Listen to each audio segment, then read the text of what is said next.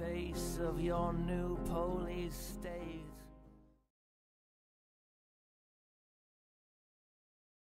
I, I believe the uh, Washington uh, PUC has has postponed their hearing to find out how that election takes place uh, of the new board.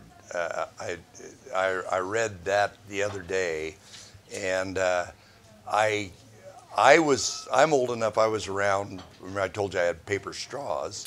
Uh, when when uh, and this was even more controversial. Uh, the purchase of Washington or uh, Utah Power and Light by Scottish Power. So uh, we already have a precedent in Idaho uh, to where a foreign entity has bought a, a utility, and you need to realize that the water system of Boise is run by the French, uh, and and a lot of water systems. So uh, having a you know utilities by their very nature are what a lot of people want because they're a constant source of, you know, not big wild returns, uh, but they're a constant source of cash. The, the utility itself is a, is a government regulated utility, but the ownership of any utility is a private fungible asset that you can buy on the stock market. You know, if you're, if you're the Bank of China, there's nothing to say you couldn't have gone on the market and bought every stock, every share of Avista in the private market. So the very, but it's a line between the utility that's regulated and what is under the, the regulatory utility. And there are things the Public Utilities Commission can do. But we ran through this scenario when Scottish Power because in, in it is very important up here, but you got to think that, that that uh, that uh, power for irrigation in the Scottish Power area, uh, that was the second biggest expense of almost every farm over there was their electricity, and and and of course that went from from good old little Utah Power and Light to Scottish Power, and now Warren Buffett owns it. It's part of Rocky. It's part of and you know and that's one of the issues that is that utility the the the security analysts tell me is going to sell. It is literally one of the smallest. Now, Idaho Power is also in that. But the thing about Idaho Power is they're making enough money, they're kind of keeping the wolves away because their stock price is so high uh, relative to the way they're operated. But there are very few uh, utilities, and the question is who's going to own it. I am not excited about this at all when I saw it uh, to begin with.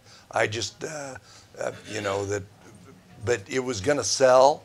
Uh, and I think it, uh, if you unwound it tomorrow, which you, which they tell me the public utilities say they have to have a guarantee, they have to know what the rates are going to be, but they can only do it for so long. Yesterday when I flew up here, there was a gal from the PUC on the that was in the row or two rows in front of me, and they had an IR. Did anybody go to the IRP meeting that uh, Vista had up here yesterday? They had their first one of the, they they have to do an integrated resource plan. Uh, and, and she said, we are not expecting a big turnout. And I says, after that turnout you had up here, that you, I, am sure you were at, uh, uh, that they had about the purchase, said that's where the decision is made. That's what's within the corporate structure of, of Avista that's in the state of Idaho. What's their mix going to be in new wind, new solar, transmission? How are you going to integrate the new wind projects come on with hydro? That's the decision that the Idaho Public Utilities Commission has some say in.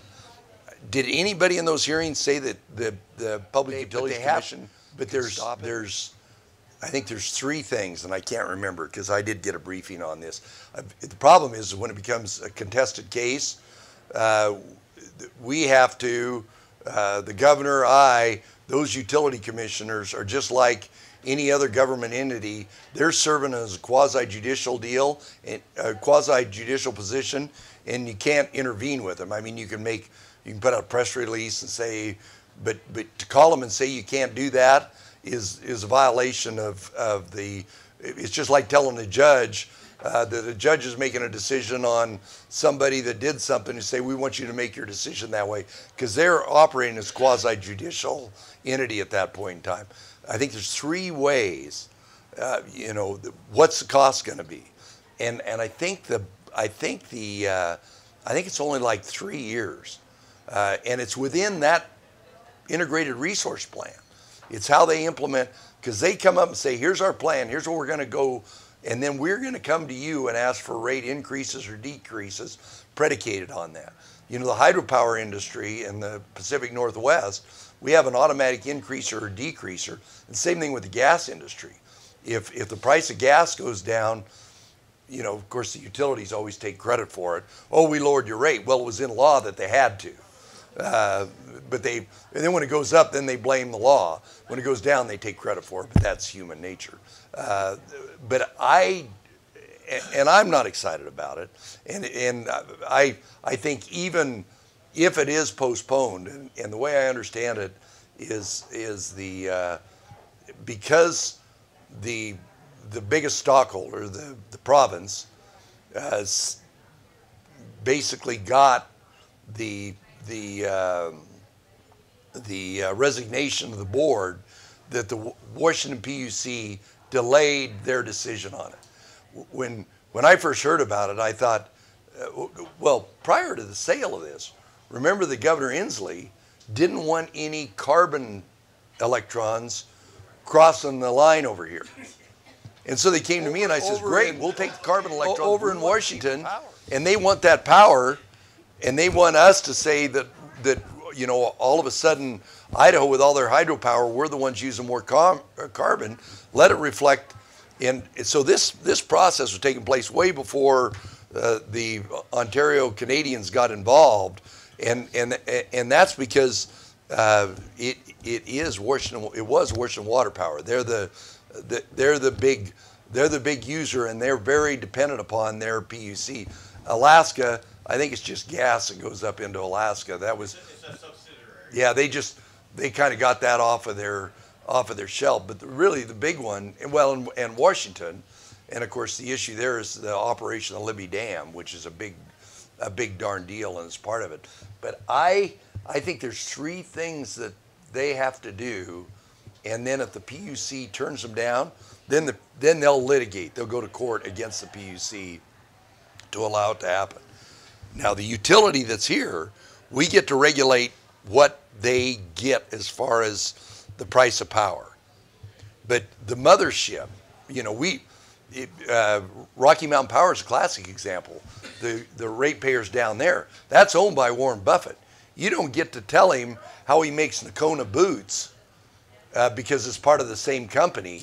All you have control over is the operating uh, entity inside the state of Idaho as a Public Utilities Commission because that utility there is part of the massive uh, Berkshire Hathaway empire.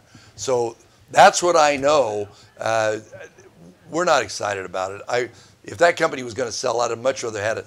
But, but the issue that somebody said, would you really want it? Uh, we, you know, we, I was, I was hoping that it was going to be somebody else so we'd have three different utilities in Idaho so we could kind of uh, maybe play one against another, try and keep our rates down, uh, keep our affordable power here in Idaho. Uh, but that that company, if if Washington or somebody or the or basically the two parties disagree, I'll guarantee you that company's going to be back on the market and somebody else is going to buy it.